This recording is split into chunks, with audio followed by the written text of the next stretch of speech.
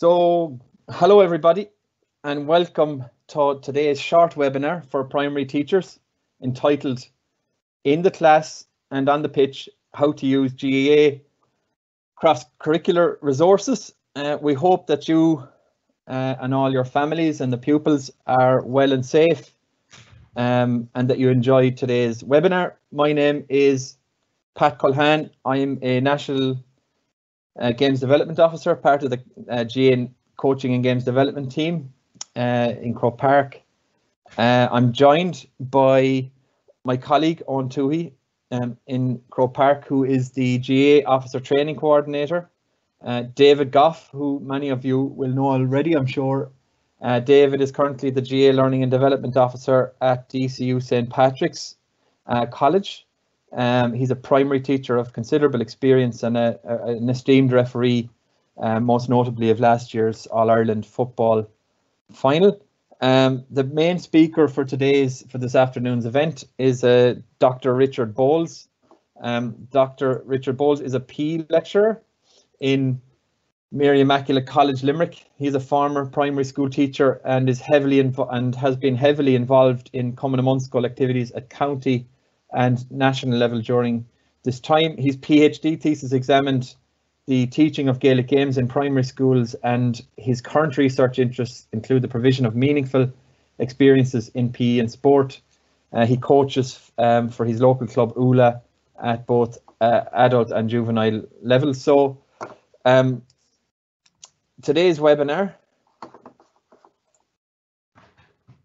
today's webinar, um, I'll speak for a few minutes. I'll just um, introduce uh, the, the, webinar as I'm doing and talk to you about some of the resources that we have developed, uh, some of the learning resources. Uh, I'll move on then very briefly to Eoghan Tuohey, who's going to just very quickly outline some of the, the measures that the, the, that the GAA, the LGFA and the Camogie Association have taken to date around COVID-19.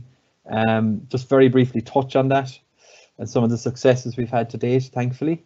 Um, going to move on then to David Gough, who will um, speak about the staff training that we've done with, with all games development staff around the country, um, just to, to, provide some reassurance there um, as they, as they uh, contact you to um, um, uh, come into schools if, if, if, if, if possible.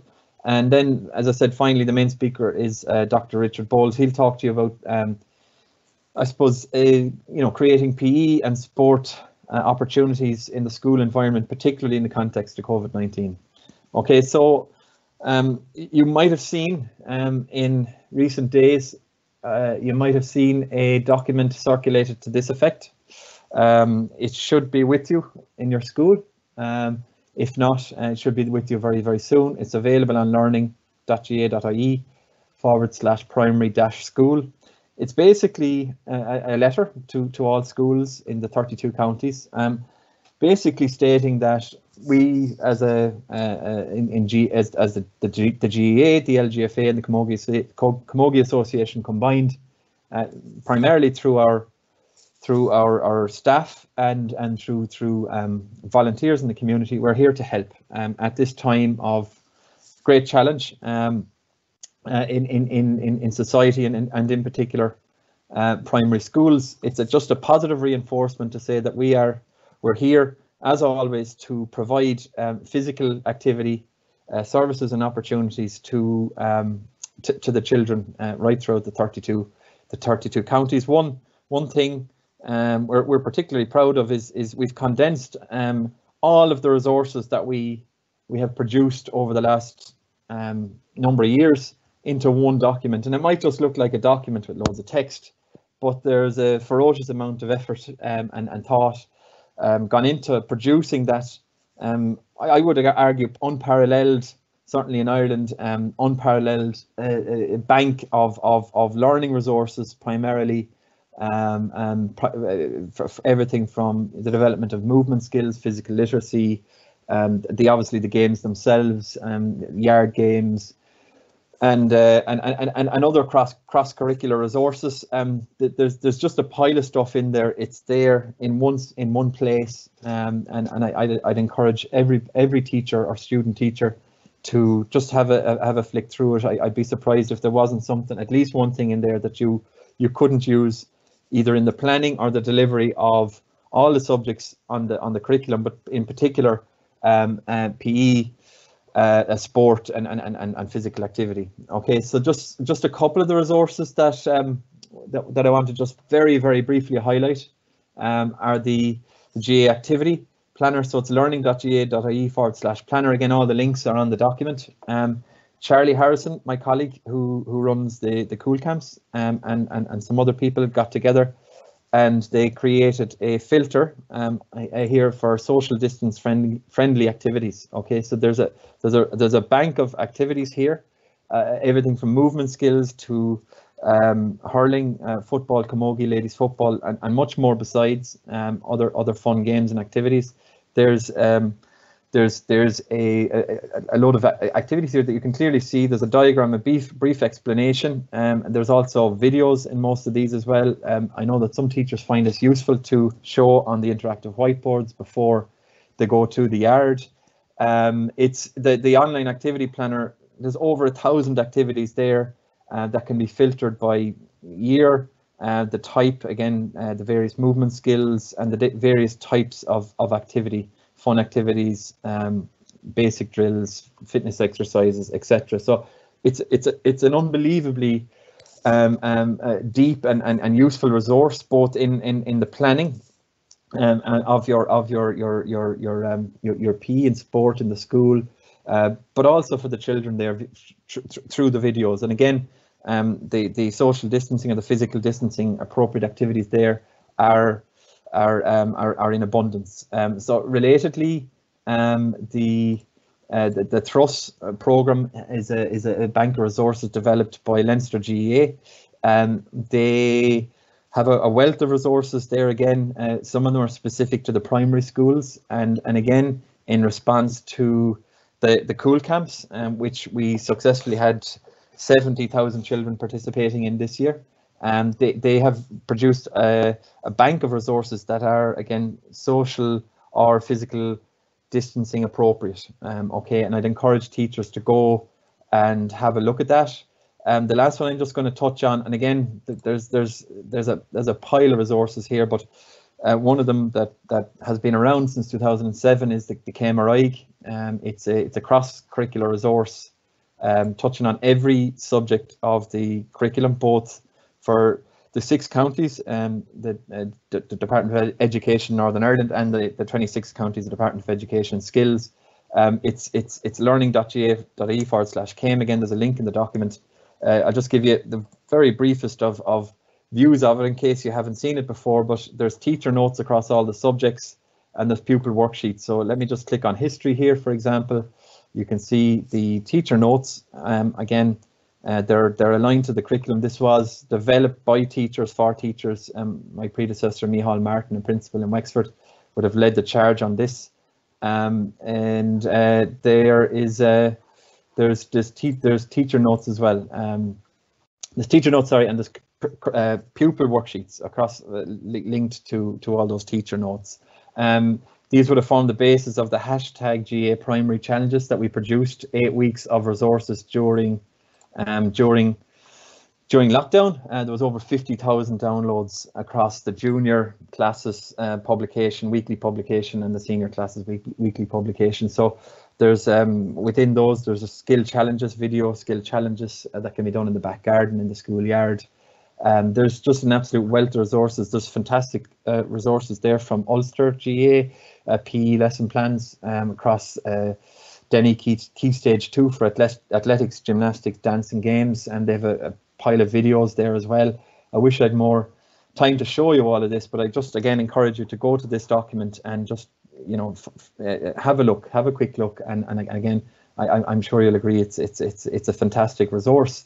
Um, so that's kind of um, that's that's that's pretty much it in terms of the um, in terms in in sorry let me get my PowerPoint up here in terms of the, the that particular document. Um, and uh, just to just to say that we um, we as an association, um, Shane Flanagan in particular, the my boss, the director of coaching games development, would have been liaising with the Department of Education and the INTO throughout the summer um, in relation to the, the various guidelines coming out um, for the return, uh, full return to, to school, which is thankfully happening.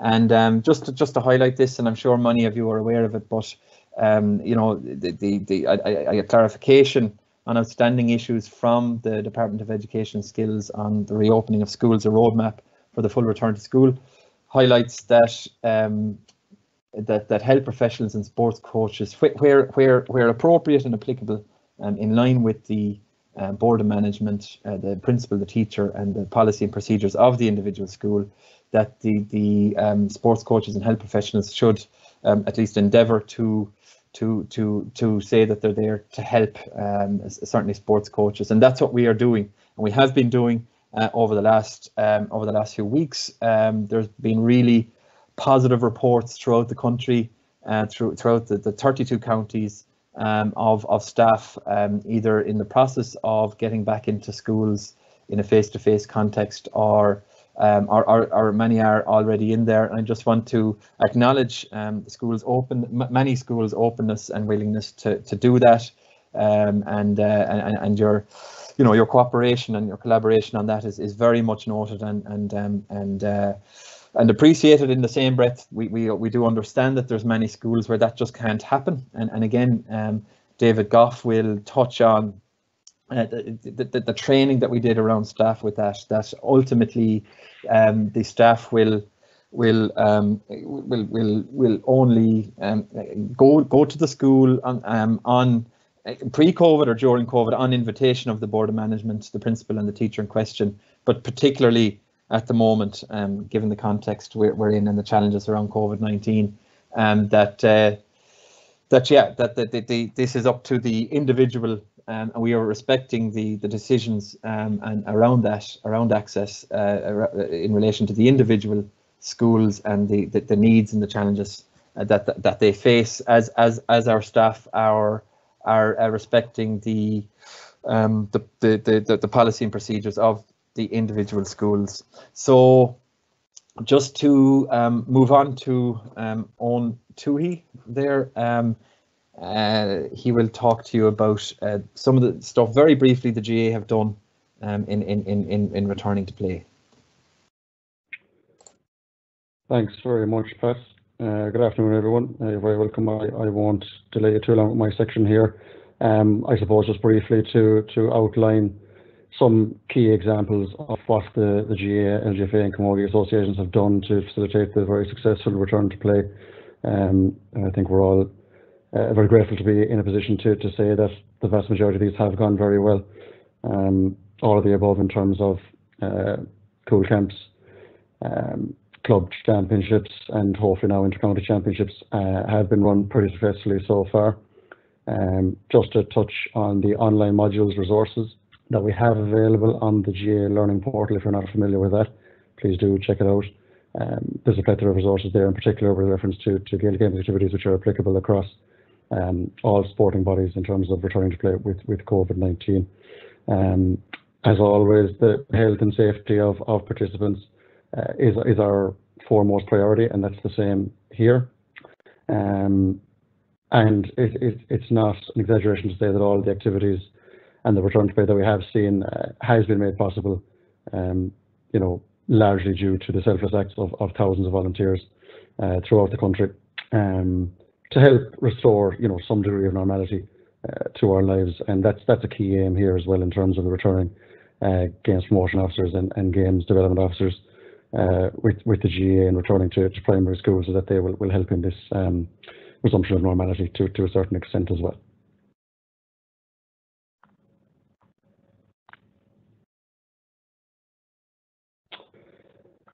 Yeah, so listen, just to touch on again, um, the full GA guidelines in terms of the play are available on learningga.ga.ie forward slash COVID-19. Uh, it's important to note that, as, as always, um, the HSE and government guidelines take precedence, uh, as always, but just the GA guidelines refer in particular to Gaelic Games activities. And of course, every primary school uh, in the country will have different approaches, policies, and, and, their own procedures in terms of the return to play and return to activity. Um, and the staff that will be coming in uh, will be uh, are there to assist in the physical well-being of, of students and they will be very much on all protocols and um, policies that are put in place by, by primary schools because obviously that's quite an individual thing.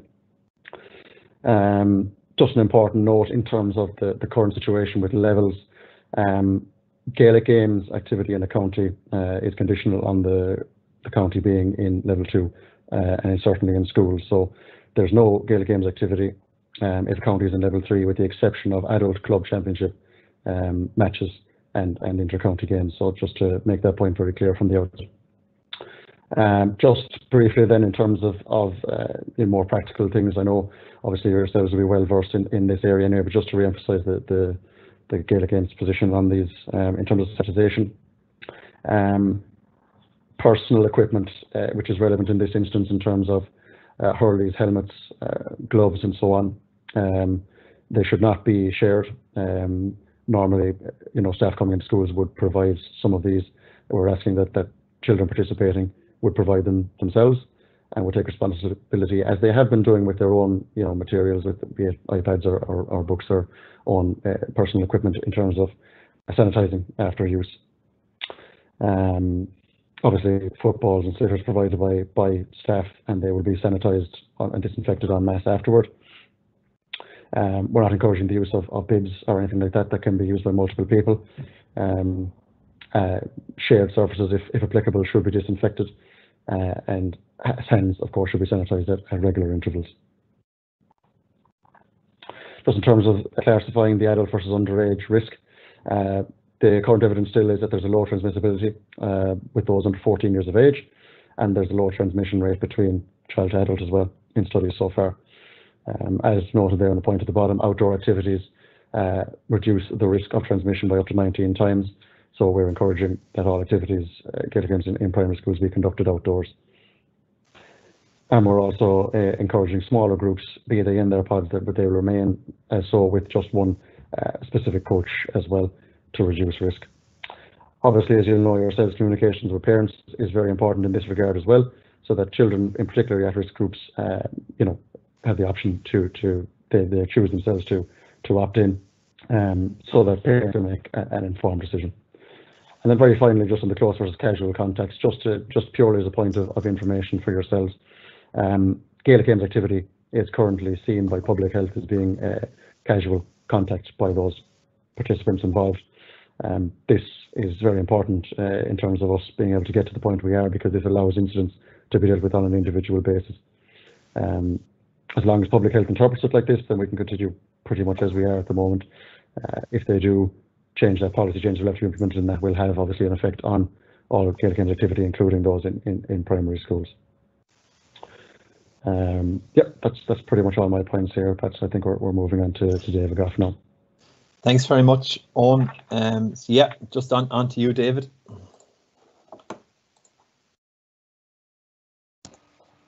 Good afternoon, everyone. Um, just to uh, update you on the training that was given to GA full-time staff uh, last week, which was GDAs and GDOs. Um, first of all, we set out the uh, the role the policies and procedures played in, in schools and how they were informed. So we spoke about Department of Education and INTO uh, input, the patronage of the school, the Board of Management, principal, staff, uh, and potentially Parents Association and Students' Council and how that the, the, those policies and procedures would come about. We made it explicitly clear to all staff that each individual school would have a different policy or procedure in relation to return to play and COVID-19 and that uh, the first thing they are expected to do is to make contact with either the secretary, the principal or the designated sport liaison officer, GA officer within the school before they come back and to familiarise themselves with whichever policy or procedure uh, the school has adopted. Um, we then spoke, spoke in more um, broad terms about the educational terms which may not have been familiar to the full-time staff in relation to pods and, and, and bubbles. Um, we explained to them that pods were strict in third to sixth class but that in junior infant to second classes uh, they might not be as well adhered to.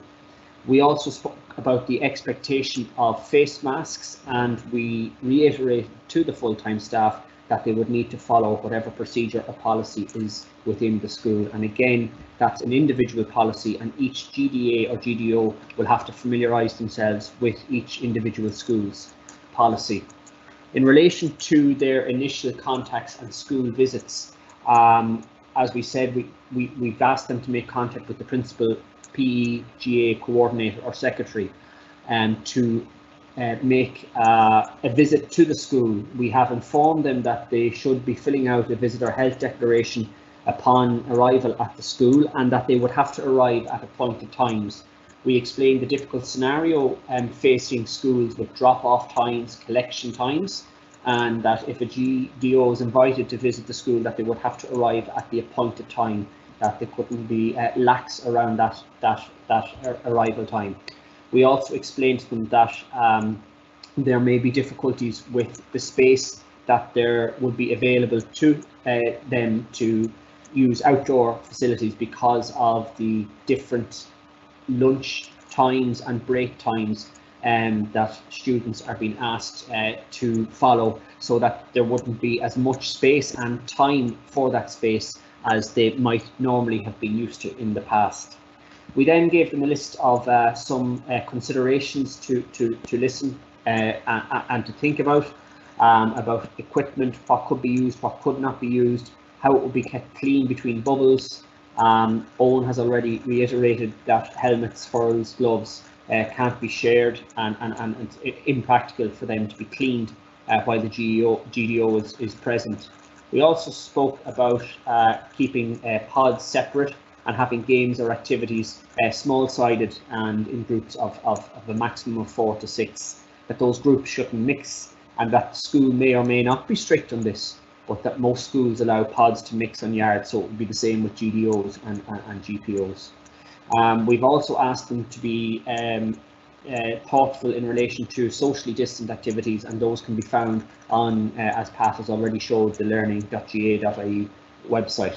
The last considerations, um, we, we, we asked them um, just to keep an eye out on um, yard times and their timing for sessions and to try and fit as best as possible inside the um, school's uh, timetable and just to explain to the GDOs that it will be an erratic timetable for, for the time being. The final point I'm going to make is in relation to the Cumann na mBunscol uh, Directive, which was issued um, in August um, that the National Committee um, instructed all counties not to organise or participate in any inter-school games or competitions until at least the 31st of October 2020 um, and it will continue to monitor the situation during this period and provide further instruction as appropriate. We would like to make this explicitly clear there should be no inter-school games or competitions before the Halloween break. Cumann mBunscol Náisiúnta will meet again during this time and issue uh, a new directive and we would ask you to stay in contact with your unit of Cumann mBunscol in whatever county you are in to keep up to date in relation to that uh, national recommendation. Thank you, Pat. Okay, many thanks, David. Um, some great clarity there. Just going to move on now finally to Dr. Richard Bowles. Uh, thanks, Pat. Uh, good afternoon, everyone. Um, I suppose my intention this afternoon is to talk a little bit about where your Gaelic Games activities fit into your regular PE curricular programme, and there may be things that might apply to extracurricular activities if they are up and running in your school. Um, firstly, I'd like to acknowledge that you know, you're the people on the ground at the moment dealing with the COVID restrictions and guidelines on a daily basis. Um, so I'm not going to give uh, definitive answers or ideas here um, because I think you'll need to adapt um, what I might say to suit your own context. And what might work in a small two teacher school might not be appropriate for a large um, 20 or 30 teacher school or vice versa. So I'm asking a lot of questions and maybe giving some ideas over the next slide or two, uh, just maybe to get you thinking and getting discussions started in the staff room or around your school um, about how you might integrate uh, Gaelic Games activities into some of your PE time. Um, just supposed to look at, you've been inundated with policies and guidelines over the last number of weeks, um, but I'm just going to highlight one policy here on the slide that's there at the moment. Uh, this um, these two quotes are taken from the Returning to School Curriculum Guidance for Primary School Leaders and Teachers document that was published, I think, in July. And it's very reassuring to see that um, uh, physical education was highlighted as being a central part of children's well-being. So with that, that in mind, I think that gives us a good opportunity to try and foreground um, PE, physical activity, and some modified sport activities in our schools um, over the coming weeks, particularly as a lot of the children in the classrooms um, may may not have been that active during the whole lockdown period. And this is a chance for us to, to, to make an impact on their lives. Um, Patrick, you go to the next slide there. So here I'm just going to um, raise an idea around meaningful experiences. Uh, the whole meaningful experiences in PE has got a lot of attention and research over the last number of years. And I'd like you to think about how we might make children's experiences uh, in Gaelic games uh, meaningful. And that's meaningful for all the children in your class. If you look at the left hand side, uh, there are six um, parts to that diagram. Um, and the research is suggesting that these six are very important um, to give children meaningful experiences of PE and sport. So things like social interaction, appropriate challenge, uh, developing motor confidence, competence, um, activities being fun, uh, the idea of delight, which is kind of a, a, deeper sense of achievement. You know, that moment when a, a, kind of a light bulb moment when a child really achieves something significant, the kind of delight that comes from that. Um, and then personally relevant learning, so something that's deeply relevant to the child. If we take those points and think about how we might develop some of those over the coming weeks, particularly with the Gaelic Games focus. Um, so maybe social inclusion has to take place uh, um, within our buds, our pods and bubbles. So the kind of social interaction that takes place in small groups. So your pods in the classroom may also be the pods you have in operation in your PE class um, outdoors. Uh, making sure that everything we do um, is inclusive. So the activities we choose um, see, suit the needs uh, of all the children in your class and are pitched at an appropriate level. So regardless of whether um, a child is really um, skilled in particular Gaelic Games activities or whether he or she is a beginner, we need to try and see can we pitch them at an appropriate level.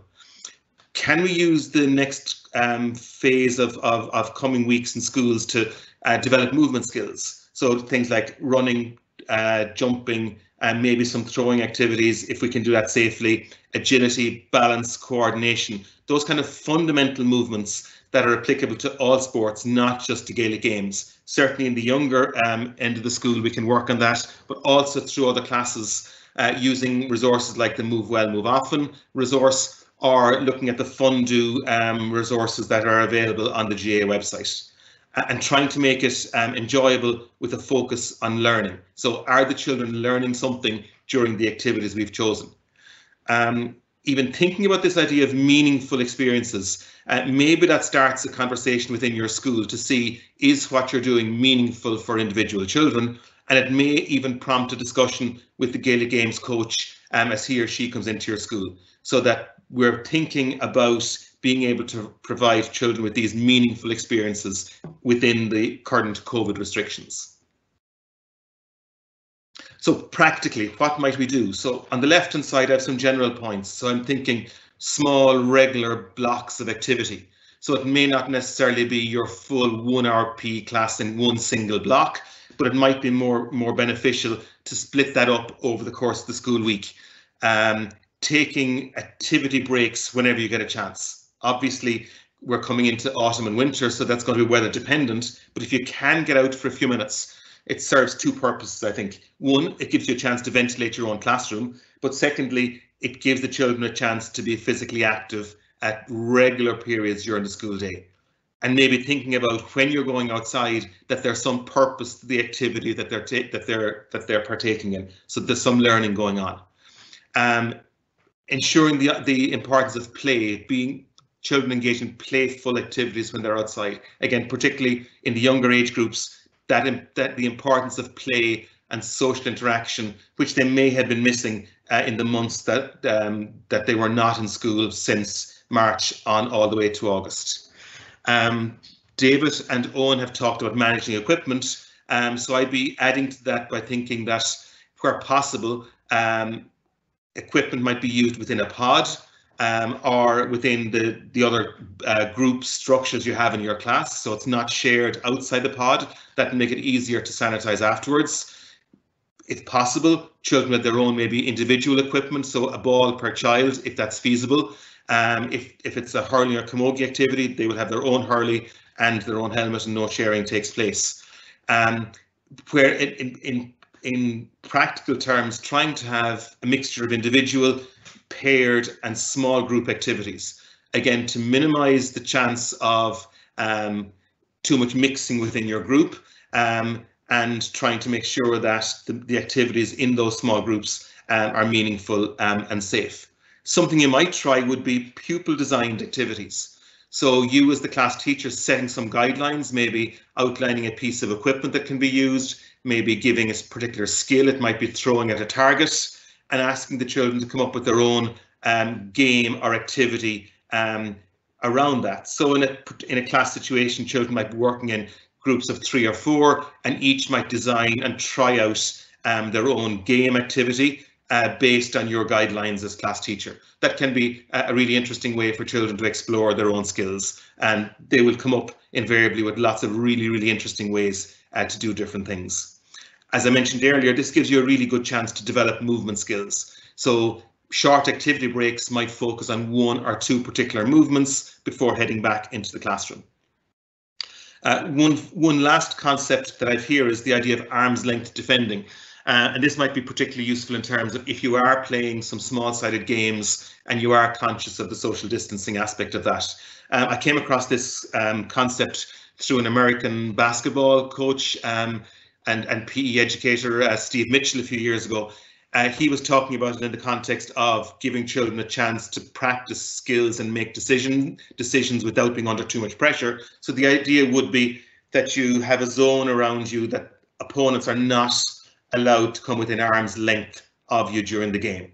Okay, uh, so in in it might be a useful way if you're playing uh, 2v1 or 2v2 or 3v3 games within your pod to have that rule involved, which adds, um, from a games point of view, the chance of ch children making better decisions and learning through that, but also within the, the context of co the COVID restrictions, um, it may be useful there too.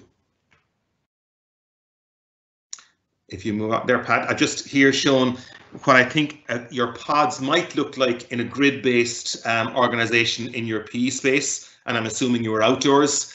Um, I've um, drawn up this diagram on the basis of four groups. So if you have six children each pod, each group would work within one of those grid areas, the blue, the green, the yellow and the orange. If you have more than that in your class, just add extra grids and adjust the grid size based on the space that's available to you. Um, you can use cones or space markers, but if you have concerns about hygiene around those those items, um, and you have somebody really creative in your in your school, it might even be possible to paint um, some permanent circles on the on the playground to uh, delineate the different grid spaces that your pods can work in. So they might do some free movement in the pods, uh, maybe passing and moving activities, or you might do some kind of more line-based drill activities, maybe going from side to side, diagonals, uh, or other activities within the grid and then adapt, uh, in, incorporate your Gaelic game skills there, your football, your hurling, your camogie skills within those um, small groups, um, be it striking, travelling, sending, receiving, but being aware of the need to sanitize beforehand and afterwards and manage your equipment appropriately. On the top right hand corner, you'll see what's um, sometimes described as a hand whistle or a squistle. Um, if you yourself are concerned about using a whistle outdoors, particularly um, with um, the possibility of, of uh, your breath going um, around the space, um, a squistle is just a whistle that you squeeze, which makes the same sound. Uh, and it can also be used by other people once it's sanitized after each use. And it's probably a good, safe way to use a whistle for um, PE activities um, in these times. Um, so Pat, if you go to the last slide, uh, just Pat outlined the GAA resources, which are, are really, really comprehensive and have lots of very, very useful um, ideas there. And I'm just adding three more um, here that might be of use. First of all, the Irish Primary PE Association have published some um, really good guidelines on managing PE um, in the current context. Um, the PDST has developed 120 non-contact activities. Uh, they're on the Scoilnet website. And again, they're non-sport specific, but I think they can be adapted really easily uh, to, into the Gaelic Games context by changing the equipment or slightly changing the rules. Um, and finally, for anybody who's interested in the meaningful PE and sport idea, there's a very interesting blog there um, on that whole concept uh, with some testimonies from teachers who are actually using the idea. And I think it might be really um, interesting to see how you might adapt that into your own school contexts. So to wrap up for me, um, get the children out as often as you can. Um, make sure the activities are being conducted safely in the context of the COVID guidelines. Try to make sure there's learning going on for every child at all times so that the experiences for them are meaningful. If they're meaningful, there's a higher chance that they will stay engaged, not just while they're in your in your school, in your class, but as they get older as well.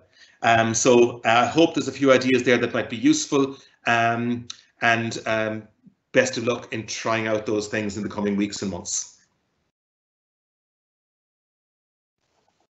Okay. Th th okay, thank you, Richard. Uh, just to finish up, folks, just to wrap up, um, yeah, you can see there are some very thought-provoking um, concepts and ideas, some practical tips there from from Richard. Um, you know, ultimately, this is about making some kind of a contribution um, through through through uh, the, the the Gaelic Games family to the health and well-being of of Ireland's children. That's always been the underlying principle uh, of what we do and the services we provide to the schools. Um, and and you can see that it's it's it's obviously primarily for us about Gaelic Games, but it's it's it's it is in effect a lot more than that as well. Um, I should have said from the outset that uh, there was nearly 500 registrations for the the event. There's hundreds of people on the call today. So um, unfortunately, we weren't able to facilitate a Q&A as originally planned. Um, we you you can contact uh, your your local GPO, GDA, or County Games Development Manager, um, or you can contact me directly. Um, all the details and contact details are on learning.gaa.ie forward slash primary school, and that is in effect is in effect is where everything all those resources I was talking about earlier and much more uh, can be found. Just a very quick update on the Five Star Centre for anybody that may be interested um, or engaged in that either last year or this year. The Five Star Centre obviously was cut short in, um, in, in, in early March due to lockdown. Um, we we are uh, we, we, we are it was in it, it was and, and is it still in national pilot phase. Um, so we've pressed pause basically on the the initiative for now. Any schools who who did uh, the initiative up until March um, we will be communicating with you directly in the coming days to to look at some kind of recognition award uh, for the 2019-2020 school year.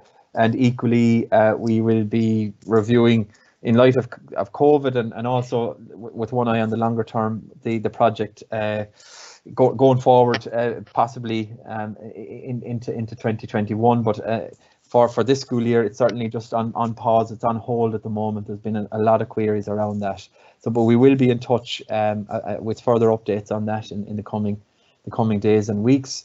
Uh, just to just to finally acknowledge um, everybody's um, time, uh, all the um, múinteoirí, bunscoile and primary teachers and principals on the call today. We, as an association or the Gaelic Games family, uh, really appreciate um, all all the work that you do in the promotion of of Gaelic Games uh, right throughout the years, and in particular during these particularly challenging times. And uh, just to acknowledge acknowledge that and acknowledge your your cooperation um, to date uh, and going forward uh, is very much appreciated with with our coaching and games development staff. Uh, safe home. It's been a long day, um, and uh, Go raibh míle maith agaibh.